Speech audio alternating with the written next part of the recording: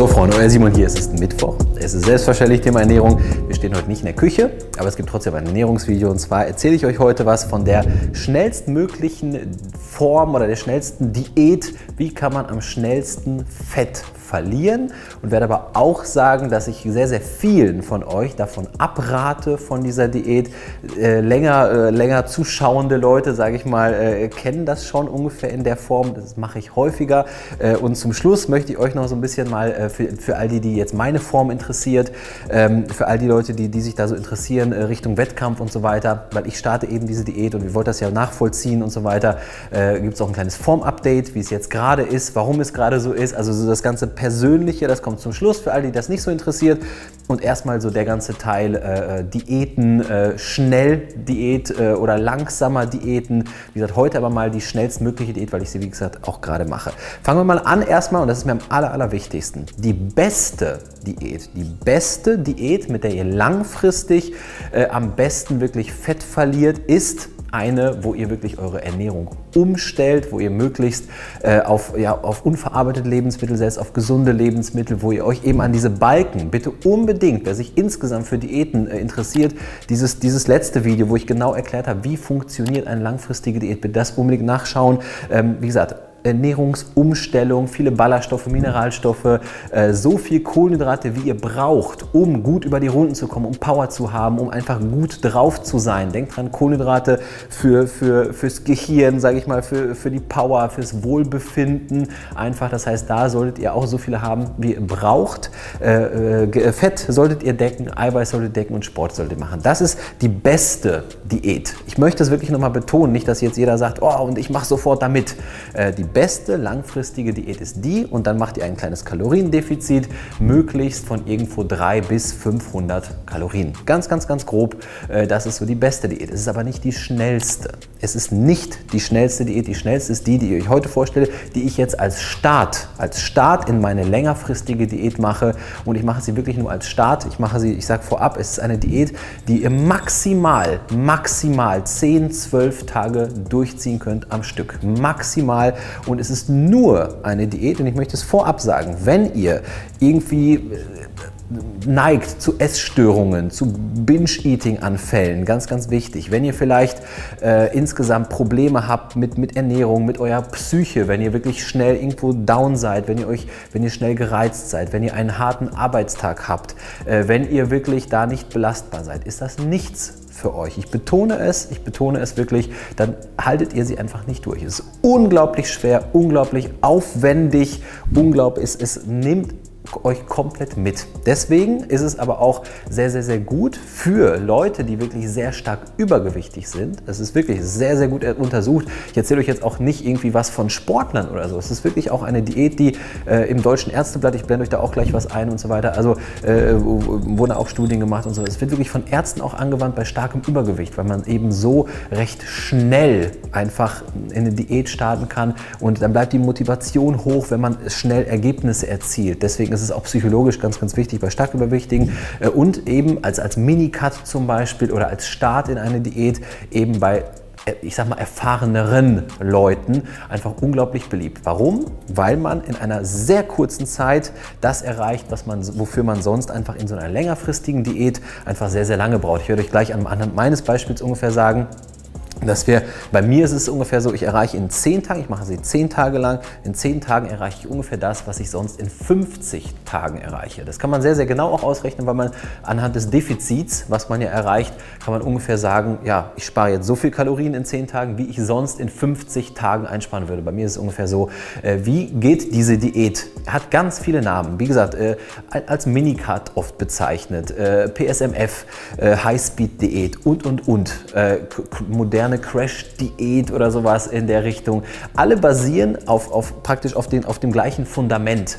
Und zwar ein möglichst hohes Kaloriendefizit, aber, jetzt könnten ja viele sagen, ja, dann könnte ich auch nichts essen. Nein, äh, um möglichst keine Muskulatur zu verlieren, wird der Eiweißgehalt recht hoch gefahren und es wird einfach dafür gesorgt, dass wir ein paar Vitamine, Mineralstoffe haben vom, vom Gemüse und ein paar essentielle Fettsäuren. Und damit, das, ist, es gibt so ein, so ein paar Sachen, die müsst ihr beibehalten sozusagen und dann könnt ihr äh, gucken, wie weit ihr das Defizit, wie groß ihr das Defizit kreieren könnt. So, das jetzt einfach mal so äh, insgesamt zu der Diät. Jetzt bei mir ganz, ganz, ganz konkret oder ganz konkrete äh, ähm, Vorgaben für alle, die sich daran halten wollen.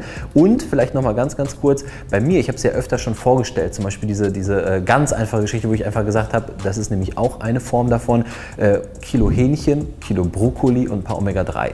Fällt genau, werdet ihr gleich sehen, ist praktisch genau die Form. Äh, ich glaube, mit dieser Diät haben hunderte von Leuten, hunderte von Leuten mir schon auf Instagram praktisch ihre Ergebnisse geschickt und so weiter. Ähm, ist einfach Wahnsinn, was damit möglich ist. Ich, wie gesagt, ob, ob ihr das schafft, das müsst ihr wirklich wissen, entscheiden. Aber einfach dieser Effekt davon ist einfach gigantisch, absolut gigantisch. Wie gesagt, wir werden gleich dazu kommen, warum das so ist. Erste Vorgabe. Mindestens 2, 2,2 Gramm Eiweiß pro Kilogramm Körpergewicht. Je dicker ihr seid, je mehr Fett ihr tragt, desto weiter könnt ihr so in Richtung 2 gehen. Aber auch da ist 2 absolut mindestens. Wenn ihr sehr lean seid, solltet ihr eher Richtung 2,5, 2,6 Gramm Eiweiß pro Kilogramm Körpergewicht zu euch nehmen. Und das wirklich mit hochwertigen Eiweißquellen. Ganz, ganz, ganz wichtig. Äh, welche Eiweißquellen würde ich da empfehlen? Ähm, ich möchte nicht mehr so viel Fleisch empfehlen. Wie gesagt, deswegen dieses Kilo Hähnchen und so weiter. Ich, wie mache ich es? Ich kann euch zum Beispiel sagen, wie ich es mache. Ich setze zum Beispiel auf Garnelen, ich setze auf mageren Fisch, ich setze auf Eiklar, ich setze auch ein bisschen auf Pute und Hähnchenbrust äh, und äh, ich setze auf Whey, auf Whey mit Wasser, auch schöne Aminosäuren, deswegen auch hochwertiges Eiweiß und auf meine essentiellen Aminosäuren. Das sind so meine Eiweißlieferanten. Davon esse ich so viel, dass ich eben ungefähr auf, bei mir ungefähr auf 2,5 0,2 Gramm pro Kilogramm Körpergewicht komme. Und ähm, wie gesagt, könnt ihr euch alle ausrechnen, das ist der Wert, den wir brauchen. Das ist ganz wichtig. Es ist ganz, ganz gut untersucht, dass wenn der Wert einfach zu tief ist, verliert ihr einfach mehr Muskulatur. Mit diesem Wert in der kurzen Zeit mit einem harten, intensiven Training, kurzes, aber hartes, intensives Training, schweres Training, verlieren wir so gut wie keine Muskulatur zigfach untersucht mit mir, mit allen in Studien. Deswegen haltet euch da grob an den Wert, wenn ihr das machen wollt. Eiweiß ist unglaublich wichtig. Versucht niemals da das Defizit drüber größer zu machen. Wird nicht funktionieren, wird schlechter funktionieren. Werdet vielleicht etwas mehr abnehmen, aber das wird tatsächlich Muskulatur sein. Deswegen der Wert muss stehen. Zweiter Wert, der stehen muss, ist nicht ein Kohlenhydratwert, aber tatsächlich ein, ein Vitamin-Mineralstoff-Ballaststoffwert.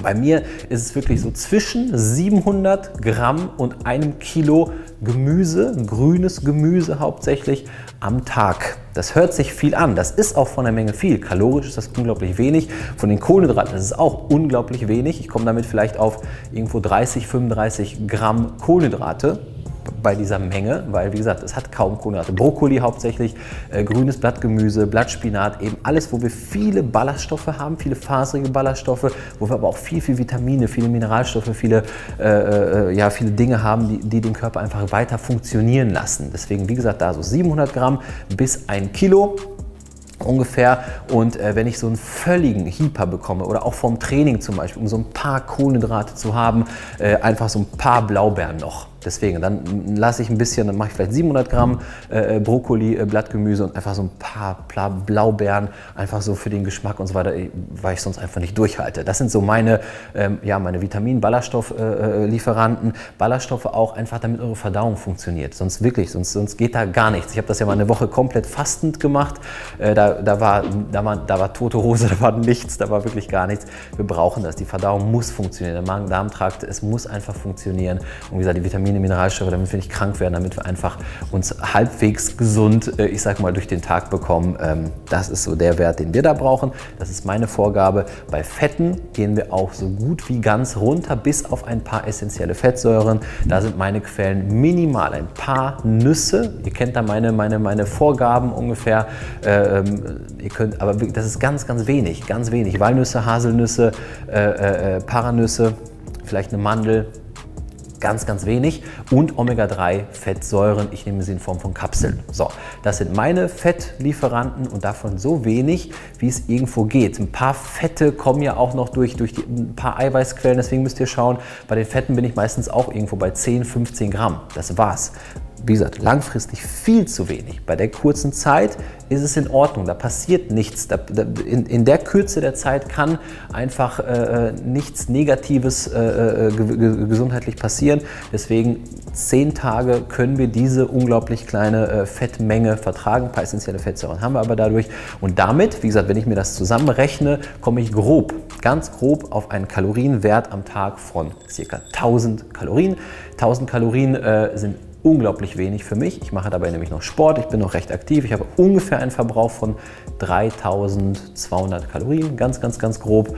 Äh, und äh, damit schaffe ich ein Defizit von 2000 Kalorien jeden Tag. 2000 Kalorien ist gigantisch. Denkt vielleicht nochmal eine Vorgabe. 3 bis 400, 3 bis 500 ist gesund langfristig. 2000 ist auf lange Sicht eine Katastrophe. Und das werdet ihr auch merken in der kurzen Zeit, aber absolut, ja, absolut genial, weil ihr ein unglaublich hohes Kaloriendefizit eben in dieser Zeit schafft. Jetzt vielleicht nochmal, äh, in 10 Tagen sind das über 20.000 Kalorien. Wenn wir jetzt ungefähr davon ausgehen, dass äh, ein Kilo Körperfett ungefähr 7000 eingesparte Kalorien sind, kommen wir so auf irgendwo äh, äh drei, drei, um, knapp, knapp drei Kilo. Wie gesagt, bei 2,2 komme ich ungefähr auf drei Kilo. Das heißt, in diesen zehn Tagen ist es bei mir auch meistens ziemlich genau so, dass ich grob drei Kilo Fett verliere. Für diese drei Kilo bräuchte ich eben bei 400 Kalorien, die ich einspare, 50 Tage. Äh, und das ist auch so der größte Vorteil für mich. Ich sage wirklich für mich und für viele eben äh, äh, Leute, die nochmal in kurzer Zeit was erreichen wollen, vielleicht auch für Athleten, die wirklich auf die Bühne wollen und, und da irgendwie zeitlich nochmal schnell, schnell machen müssen oder eben die so eine Diät starten wollen. Wir können einfach das, was wir langfristig erreichen, sehr kurzfristig erreichen, aber eben nur ein oder maximal zweimal. Man kann das dann nochmal einschieben. Oder eben im Aufbau, wenn man merkt, oh, ich werde im Aufbau zu fett, ein Minicut und dann können wir wieder aufbauen, ein Minicut. Äh, damit baut man einfach leaner auf und äh, das hat einfach für mich und für sehr, sehr, sehr viele, ihr könnt auch mal wirklich bei, bei YouTube schauen, Minicut oder HSD oder so, diese Erfahrungsberichte, was da einfach möglich ist. Schon sehr, sehr, sehr erstaunlich, was in so kurzer Zeit möglich ist. Das ist der erste Vorteil, also in kurzer Zeit sehr, sehr viel, besonders eben für stark Übergewichtige, kann ich wirklich empfehlen. Nehmt euch ruhig mal die Zeit, nehmt euch vielleicht da einen Urlaub und macht sowas, äh, kann ich sehr, sehr, sehr empfehlen, weil ihr seht, was tatsächlich möglich ist mindestens für die Leute, die immer sagen, oh, ich kann nicht abnehmen. Wenn ihr das macht, seht ihr tatsächlich, was ihr mit einem Kaloriendefizit tatsächlich abnehmen könnt. Für mich zweiter großer Vorteil ist, danach fällt mir einfach alles leichter. Das ist für mich so von der Motivation. Danach ist jede Diät, jede, äh, egal ob 400 äh, Kalorien Defizit, 500 Kalorien, danach ist alles äh, wie ein Paradies, weil das ist einfach so heftig. Ihr merkt, wie krass ihr wirklich an die Grenzen geht mit dem Körper. Nach dem dritten, vierten Tag ist einfach, äh, ihr merkt, der Körper will sich die ganze Zeit hinsetzen, der will die ganze Zeit sich ausruhen und so weiter. Er will euch die ganze Zeit austricksen, dass er sich nicht bewegt und so weiter. Es ist unglaublich hart. Danach ist alles und es schmeckt danach alles besser. Äh, die Insulinsensitivität ist besser. Danach funktioniert alles ganz, ganz großartig. Ich liebe die Zeit danach äh, und eben selbst wenn es eine Diät ist. Das heißt, ich nehme es als Start in die Diät und mache danach eine richtige Diät, werde ich euch alles vorstellen auch und so weiter. Äh, und danach fühlt sich es einfach nicht mehr so schwer an. Das sind meine zwei Hauptvorteile, warum ich es mache und eben im Aufbau, um einfach nicht zu fett zu werden. Aber wie gesagt, jetzt sind wir in der Diät. Erstmal riesen, riesen Vorteile. Ähm, wie gesagt, bitte, bitte bedenkt, ich möchte, wie gesagt, das, was ich mache, ist nicht immer äh, das, wozu ich euch rate, besonders nicht allen Leuten. Deswegen bitte bedenkt meine Worte. Ihr könnt es, ihr könnt es selbstverständlich ausprobieren, zwei, drei Tage. Aber wenn ihr merkt, es ist einfach zu krass, hört bitte auf. Hört bitte auf, ich meine es wirklich ernst. Äh, es soll nichts darunter leiden, äh, Job soll nicht leiden, Familie und so weiter. Ich werde auch so ein bisschen äh, hibbelig und ein bisschen aggressiv und so weiter. Aber man hat, man hat schon Drive und so weiter. Das ist schon ganz, ganz interessant. Also es ist auf jeden Fall eine Erfahrung, aber eben nicht für jeden, aber es ist die schnellste, mit Abstand die schnellste Möglichkeit, Fett zu verlieren und Muskulatur zu erhalten. Deswegen äh, kleiner Startschuss. Wie gesagt, gleich gucken wir uns die Form an, womit wir starten. Äh, ich habe das gestern schon angefangen, deswegen äh, bin ich jetzt schon äh, recht leere Glykogenspeicher und dann werden wir mal sehen, äh, wohin das Ganze geht. Und äh, ja, wie gesagt, ich freue mich da auch riesig drauf und ähm, wie gesagt, ist keine, keine langfristige Diät. danach sollte man auch unbedingt Refeeds machen, wir, können, können, werden wir auch noch besprechen, guckt euch das auch noch mal alles an und ähm, ja, das ist so die schnellstmögliche Diät mit der ich jetzt eben zehn Tage lang starte. So, und jetzt gucken wir uns, jetzt blende ich euch mal die, äh, die Bilder ein von der Form. Ähm, ich kenne sie ja, also ihr, ihr, seht jetzt die Form, die wir dann jetzt hier danach aufgenommen haben, also hier direkt. Und äh, ja, wie gesagt, das will ich nur sehr. Äh, Glykogenspeicher sind leer, aber was sehen wir im Vergleich zu dem Video, wo wir angefangen haben, uns überhaupt mal die Form anzugucken mit Chang damals. Äh, ich blende mal die, die Bilder jetzt und äh, davor ein. Äh, wir sehen, Gewicht ist ungefähr gleich geblieben. Ich wiege jetzt ungefähr 89 Kilo, aber aber, und das ist zum Beispiel auch so eine Sache, wo ich immer drauf hinaus will, ihr seht, dass da recht viel trotzdem passiert ist. Ich bin jetzt wesentlich fettfreier schon, obwohl ich die Diät jetzt erst starte. Ich habe einfach gut gegessen. Ich habe normal gegessen, ich habe ungefähr meinen Bedarf gedeckt, ich habe wieder hart trainiert und wir haben eben, und das ist das, was ich auch immer wieder sagen will, wir haben etwas Muskulatur wieder dazu gewonnen und etwas Fett schon mal verloren. Und das ist eben, wenn man wieder einsteigt ins Training, das geht auch, äh, wie gesagt, man kann auch praktisch umformen das Ganze. Also man man, man macht nicht aus Fett Muskeln, aber man kann sowohl gleichzeitig Fett verlieren und ein bisschen wieder Muskeln aufbauen, wenn man zum Beispiel wieder ins Training startet, wenn man wieder äh, einfach seine Ernährung richtig macht wenn man sehr hart trainiert, ich habe sehr, sehr hart trainiert, ich wollte, dass der Körper einfach wieder da ist. Und ähm, wie gesagt, jetzt starten wir mit der Diät. Die Form ist als Ausgangsform, ich sage mal schon mal besser als äh, die letzte Form. Und äh, wir werden aber sehen, was jetzt eben schon mal in den zehn Tagen passiert und besonders was danach passiert. Plan ist vielleicht nochmal für alle, die es interessiert, erstmal bis zur FIBO runter, mindestens, ich sage mal mindestens so auf 84 ungefähr, damit wir einfach nicht mehr so viel Gewicht mit rumtragen, damit man da schon mal ganz gut was sieht. Dann werden wir schon mal recht lean sein, recht lean. Äh, dann kann ich schauen, wo sind noch Schwachstellen. Dann werde ich nach der FIBO versuchen, diese noch, ich sag mal, etwas aufzubauen, etwas zu verbessern, um äh, aber auch nicht mehr zu fett zu werden, sozusagen, um dann vor dem Wettkampf irgendwo im November, äh, um da die Diät nicht mehr lang zu haben, um da wirklich zu gucken, nochmal, wie gesagt, ein bisschen aufbauen und da dann Diät zu starten. Das ist so der Plan. Ob er so hinaus, werden wir schauen. Aber wie gesagt, bleibt dabei und äh, schaut euch alles an, wie das so läuft. Äh, wie gesagt, jetzt erstmal knüppelhart, äh, Minicut und dann schauen wir, was das schon mal gebracht hat. Und dann sehen wir weiter. So, meine Freunde. Wie gesagt, für alle, die es mal ausprobieren wollen, mit Vorsicht zu genießen. Ansonsten immer eine langfristige Diät machen. Äh, ansonsten, äh, ja, abonniert den Kanal, bleibt dabei, schaut bei Facebook, Instagram vorbei und äh, die besten Supplements. Und wie gesagt, hier sind Supplements wirklich Gold wert, besonders Whey, besonders ERAs, besonders ein kleiner Booster vor dem Training und besonders Omega-3-Fettsäuren würde ich da empfehlen. Body AP Nutrition und äh, die besten Klamotten VIP Wear. Bis dahin, euer Simon.